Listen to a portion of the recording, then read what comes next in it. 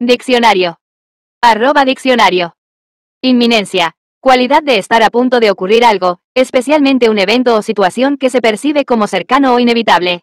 En un sentido general, se refiere a la proximidad inmediata de un hecho o circunstancia, que puede generar sensación de urgencia o preocupación.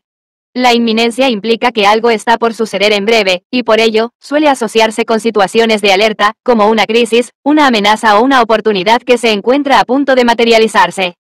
Se utiliza en contextos como la previsión de desastres naturales, cambios importantes o decisiones urgentes.